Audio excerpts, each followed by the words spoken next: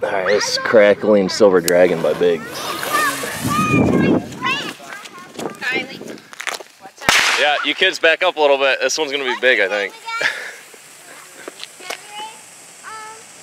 Maybe.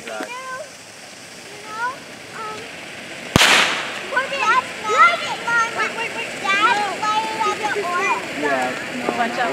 I don't want to get hit. No, you don't. It